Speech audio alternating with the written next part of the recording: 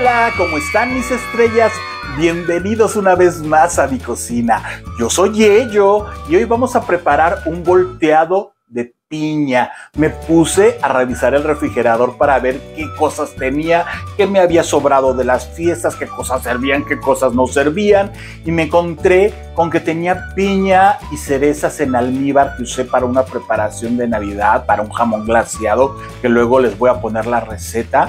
Pero entonces me sobró piña, me sobró cerezas y dije, bueno, ¿qué podemos hacer con esto? Y pues, ¿qué combina mejor que un volteado de piña? Que lo pueden hacer con cualquier cosa, ¿eh? Yo lo he hecho con piña y dátil, con ciruela pasa, con puras pasitas, con puras nueces, con duraznos en almíbar, con duraznos frescos.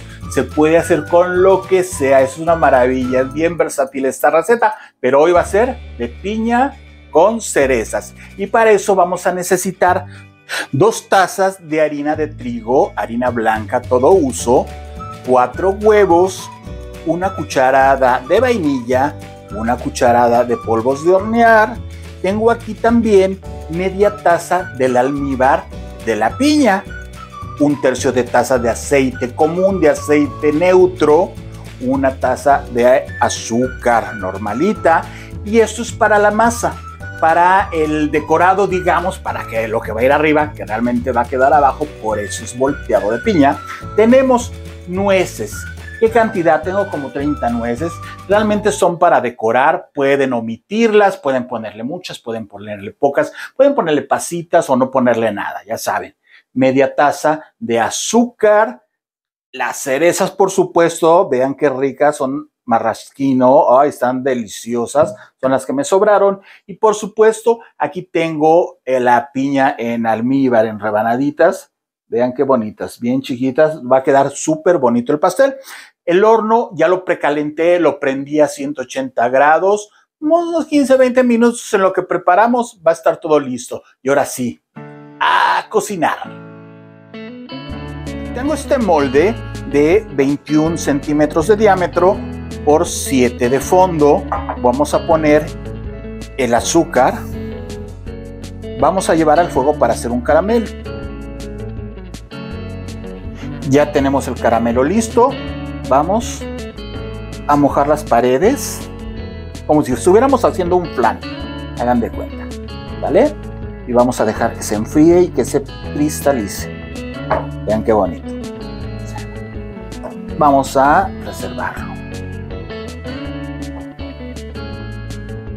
Vamos a batir perfectamente los huevos durante 5 minutos. Vean qué espumosos quedaron los huevos. Ahora vamos a agregar el azúcar. Vamos a batir por unos 2 minutos solo para que se disuelva. Agregamos el almíbar de la piña e integramos.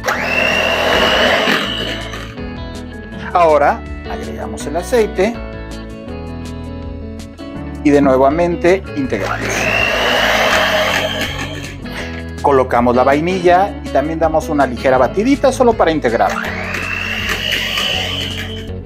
En la harina vamos a poner los polvos para hornear y por cierto había olvidado ponerle o mencionarles que hay que poner una pizquita de sal. Vamos a pasar ahora todo por el cernidor sobre la mezcla de los huevos.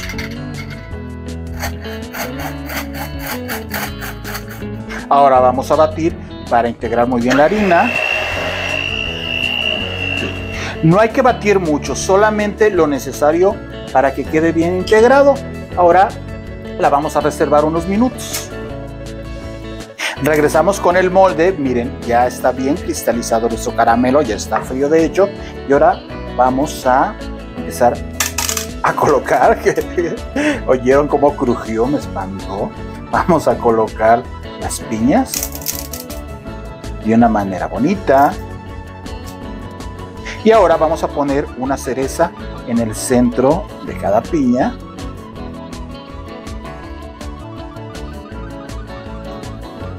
Y en los otros huequitos vamos a poner las mitades de las nueces.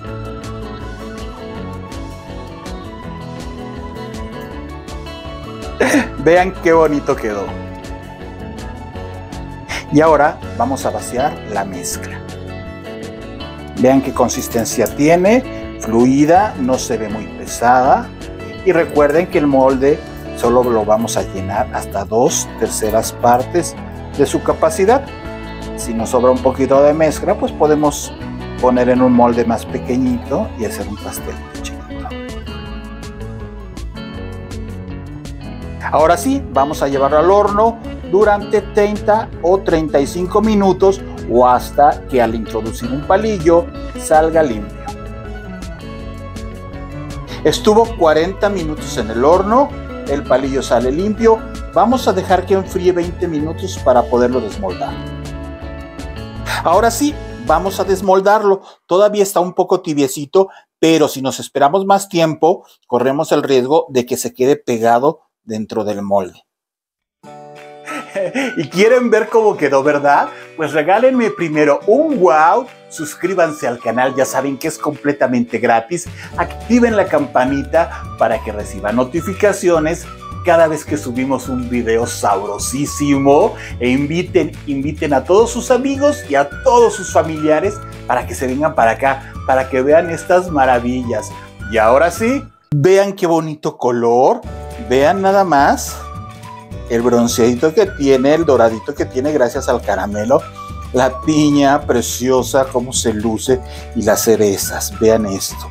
Las cerezas le dan un toque espectacular. El clásico volteado de piña. Huele riquísimo, huele a caramelo, huele a piña en almíbar. No puedo decir otra cosa. Y ahora sí, vamos a partirlo, vamos a probar qué tal está. Súper suavecito.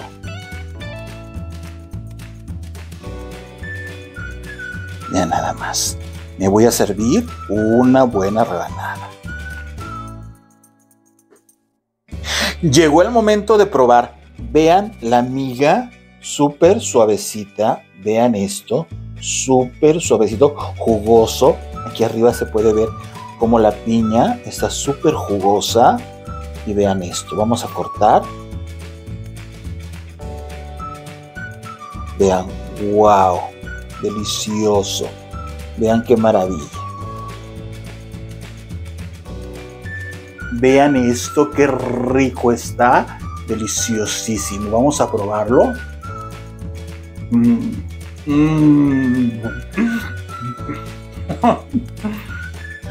Delicioso, jugoso. Mm.